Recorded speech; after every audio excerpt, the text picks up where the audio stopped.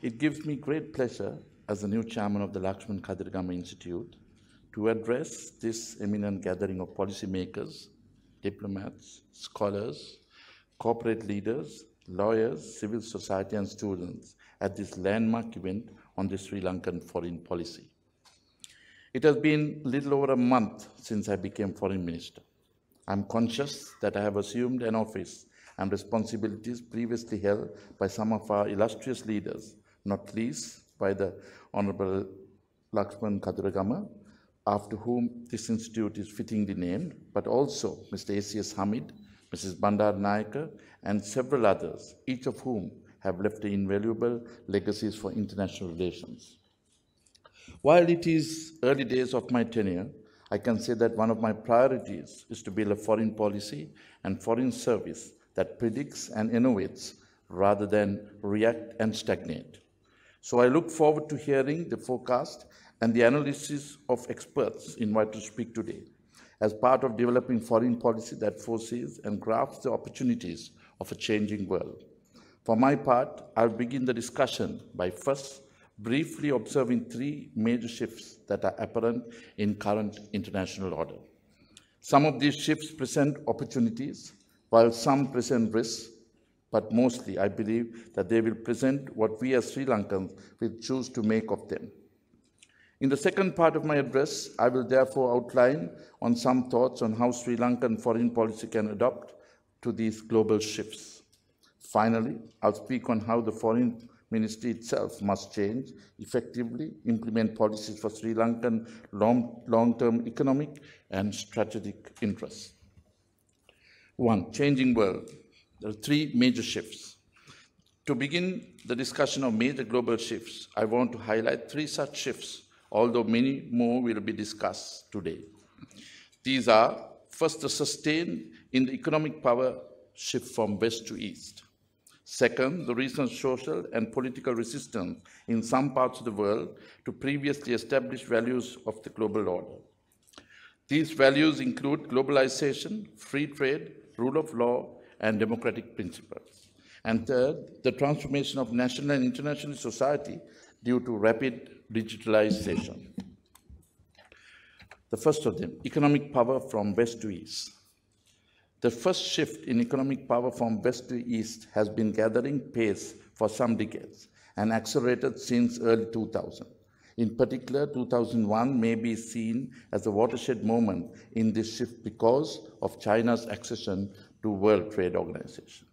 In that year resulted in est estimated gains of nearly 10 billion a year for Chinese economy.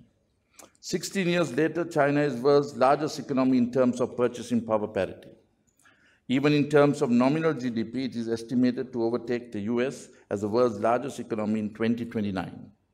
Meanwhile, India is predicted to overtake the US as the world's second largest economy in purchasing power parity terms in 2050.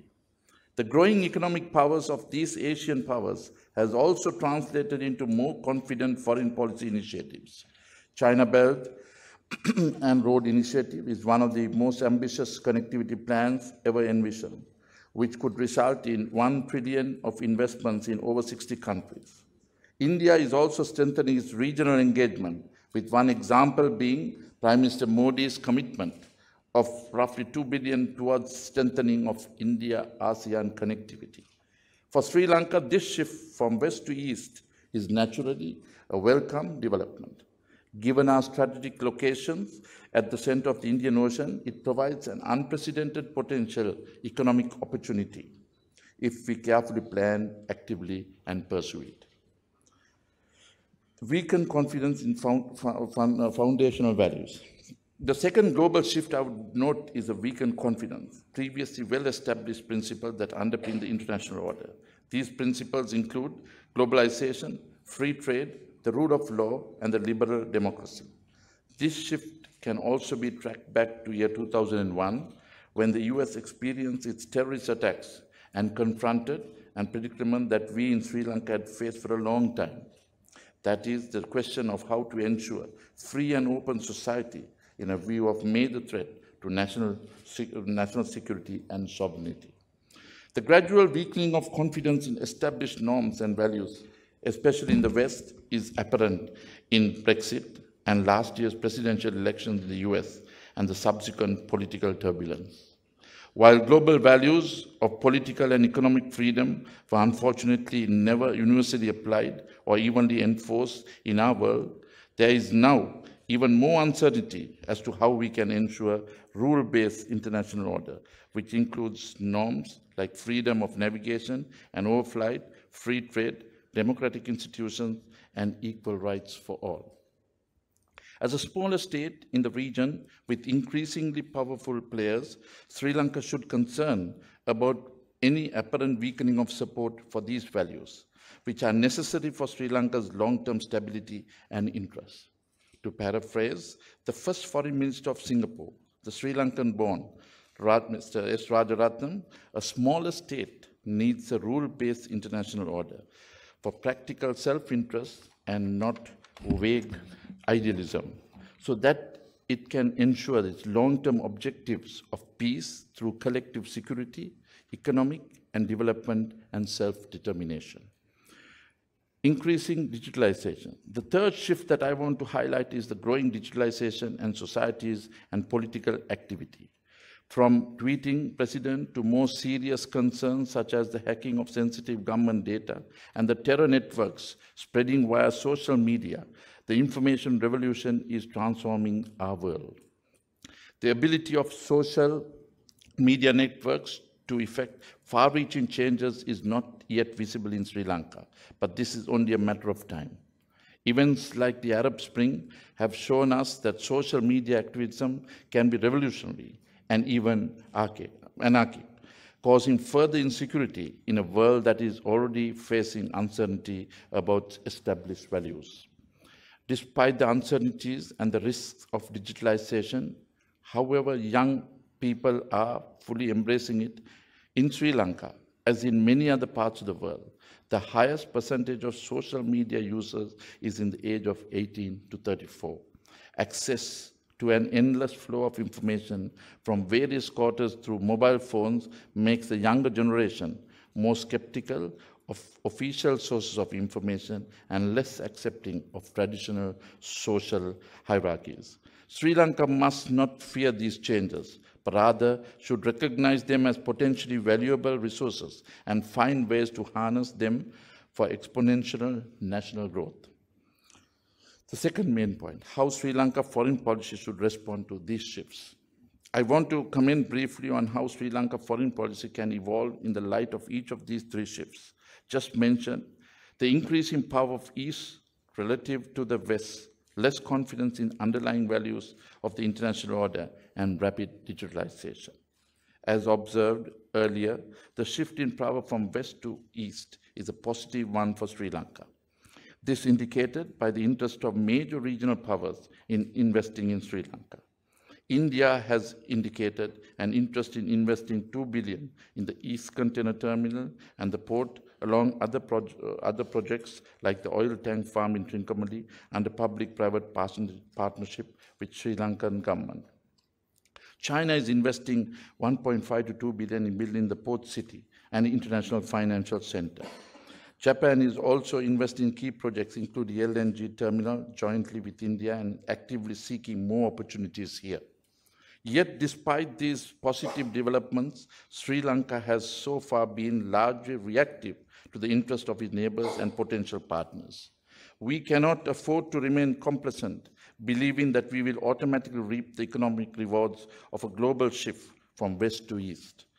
We will not.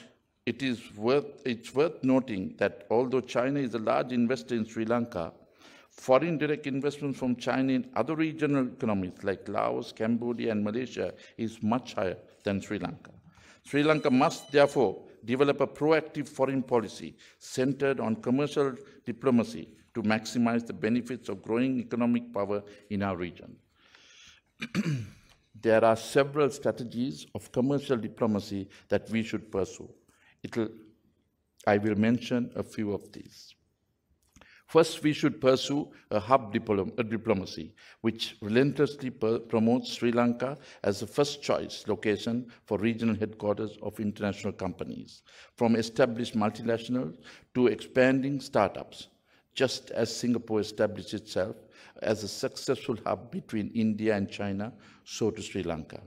As a center of entire India Ocean region that has a population of over 2 billion between Singapore and Dubai. Secondly, while thinking global, our foreign service must also act local by utilizing strategies of para-diplomacy. As Prime Minister has observed, there are untapped opportunities in the neighboring cities and regions, including the five southern states of India, Karnataka, Andhra Pradesh, Tamil Nadu, Kerala, and Telangana. These states have a population of 250 million and a GDP of 400 billion. Uh, third, we continue to prioritize our proposed free trade agreements with India, China, and Singapore.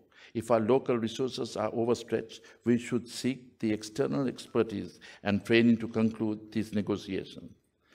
Next, we need to research and pursue new sources of investments closer to home these include the Chinese-led Silk Road, uh, Silk Road Fund, Export-Import Bank of China, and the Asian Infrastructure Investment Bank, but also new sources of capital in other markets in the region, including South and Southeast Asia and the Middle East.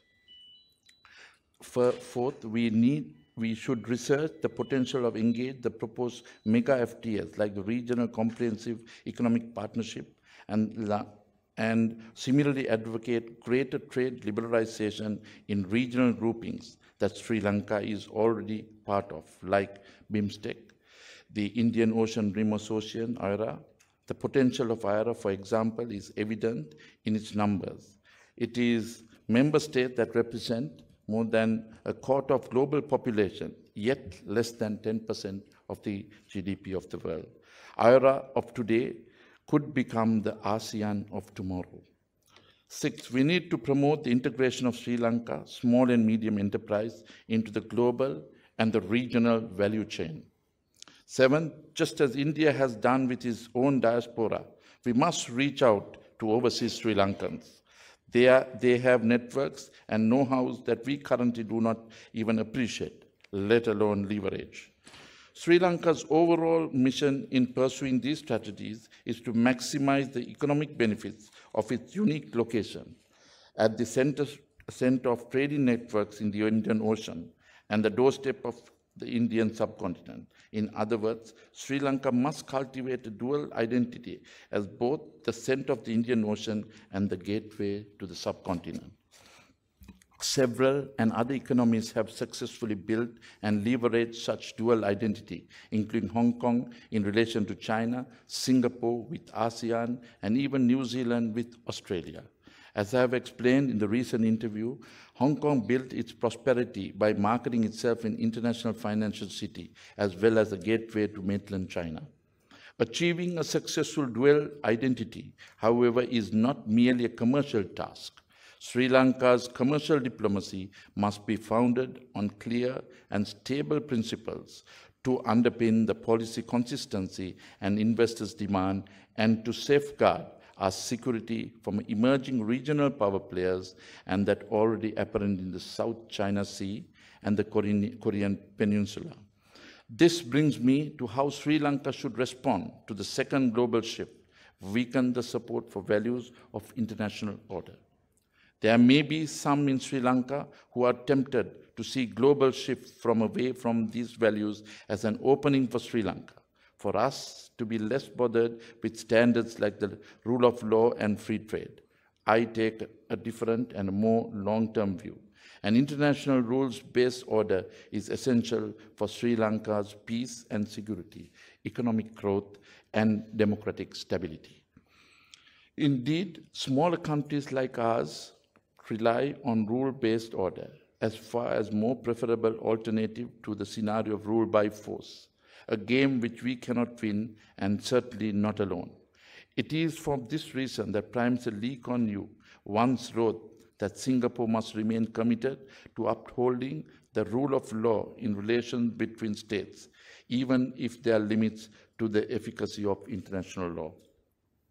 Sri Lanka's development as a center of the Indian Ocean cannot, cannot afford a weakening of international rules and principles like the freedom of navigation, com commitment to the law of sea, and democratic values. This is why President Maithripala Sirisena signed the Jakarta Concord this March and the IORA summit, affirming the freedom of navigation, a culture of democracy and human rights. And the Prime Minister Wickremesinghe has recently spoken of the code of conduct for military vessels in the Indian Ocean. Our foreign policy must therefore continue to advocate and support rule-based global order.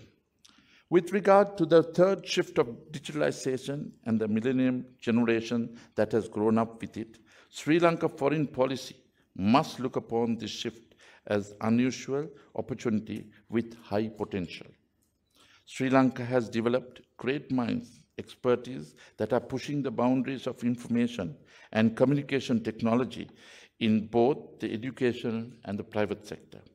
For example, in 2013, the University of Moratuwa had the most number of student projects accepted by Google Summer of Code program for the seventh year running, beating all other universities in the world, including the National University of Singapore, which ranks seventh place, and Peking University, which was ranked ninth our IT professionals have created software for global clients like the London Stock Exchange. Achievements like these can, can be multiplied if our foreign policy goes beyond formal diplomatic relations to establish value people to people links with partner economies. For example, our missions abroad can assist the thousands of Sri Lankan students studying abroad, including in India and China, to obtain internship in high growth companies and in new industries. These students may then return to Sri Lanka with networks that can tap. Even if they remain abroad, we can tap them for ideas, network, introduction, and other assistance. The, how the foreign, foreign ministry should respond to these shifts. I have already ventured into my final point, which is the need for our foreign ministry to develop into a proactive and a unified team of diplomats and missions beyond the current situation in which have excellent foreign service officers without comprehensive and transformative team support. To take full advantage of the shift in economic power to Asia, we should and will prioritize commercial diplomacy. Our re recruitment should be target professionals from the private sector even if only on secondment, and commercial attaches in our missions abroad need to be skilled in trade negotiations and fluent in the local language. We will work to attract young Sri Lankans who have studied abroad in countries like China so that we will gain officers with required cultural fluency and language skills without significant addition investments of time and money. There are several foreign ministries in other countries that offer valuable examples for commercial diplomacy. The New Zealand government developed its national brand as New Zealand Incorporated, and it ensures that New Zealand private sector is deeply involved in the strategizing New Zealand's trade policy. Officers in the Ministry of Foreign Affairs and Trade, and even the media advisors, have previously worked at senior level in the dairy sector help to ensure synergies and transfers of knowledge between New Zealand Foreign Ministry and the private sector. As to how the ministry should promote international principles like the freedom of navigation, free trade, the rule of law, human rights, we can begin by formulating an organizational mission which states the aims of Sri Lankan foreign policy and the principles for which we have always stood. Just like staff of uh, staff of leading private sector companies are guided by corporate mission, so too should our foreign policy officers. The Netherlands is one example of a nation that does this well by explicitly stating that its foreign policy aims to achieve security, prosperity, and freedom. Finally, in view of digitalization and the millennium generation, the the institutional culture and structures may need to have an overhaul. We can increase the reach of our digital diplomacy, especially by penetrating from markets such as China using channels such as Weibo and WeChat. While a few of our missions already usefully employ digital diplomacy, every mission, social media should be proactively market our country and opportunities. For example, of this approach, one needs only to look at the Facebook pages of some of the foreign missions here in Colombo. It has been observed that most important aspects of foreign policy is the people who make it. And if the ministry is attract the best and the brightest of the millennial generation, it must be attuned to the, their expectations. The millennials don't want to state and hierarchical bureaucracies. Rather, they want horizontal workplaces where their voices are heard from day one, with clear targets and merit-based advancement. If we want, if we want uh, the younger innovators, we must be committed to the culture of innovation. We cannot promise casual clothes and table tennis at our offices like in Silicon Valley, but we can start with new practices like an idea, ideas lab, online, in person, and an open door policy. Many foreign services are already offering valuable suggestions. To sum, our relations with India over the years has been built on mutual confidence and respect for each other. What we have to ensure is that this cordiality is not exploited by political or any other opportunists to their advantage. Therefore, it is incumbent on me to safeguard our even ever strengthening relationship to fortify to the highest of levels. Sri, to Sri Lankan foreign policy must prioritize commercial diplomacy, take a clear stand for values that are in the long-term interest, and embrace not fear for digitalization and millennial generation. This is a tall order, but we can achieve it together. As the late Honorable Lakshman Kadirgamar said, our difficult, our difficult peace process is not a question of putting a rabbit out of the hat. Likewise, building a foreign policy for our changing global order is no easy task, but it is imperative nonetheless. During these changes times, we cannot afford to stand still. Let us move ahead and grasp the hand of others who, like us, want to secure a continued peace and prosperity. Thank you.